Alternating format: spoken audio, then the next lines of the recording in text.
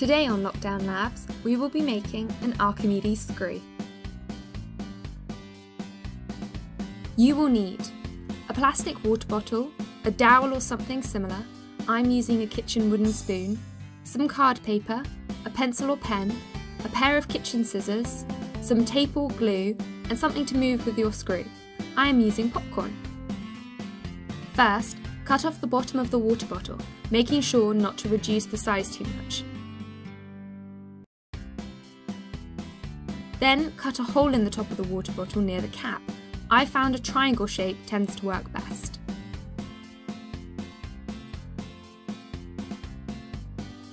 Then, use the end of the water bottle to trace 6 or 8 circles out on the card paper and cut them out, ensuring to cut inside the trace lines so that the card will fit snugly in the bottle, not leaving any gaps, but is able to rotate within it.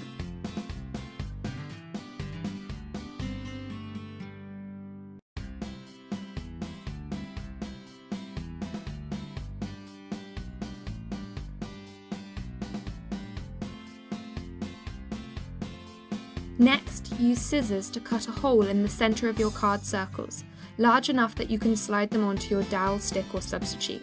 Use the scissors also to cut from one edge of the circle to the centre and repeat on your six cards.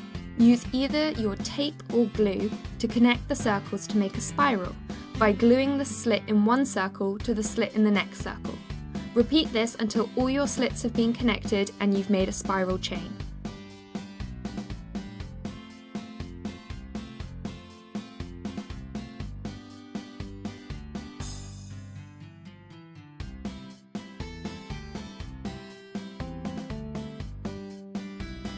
Put the end of your screw into your chosen substance, here I'm using popcorn kernels, and twist the dowel inside. The bottle should not be twisting, and watch your Archimedes screw work. We hope you have enjoyed this lockdown lab experiment. If you'd like to learn more, please check out our Science Explained video, or why not try another experiment.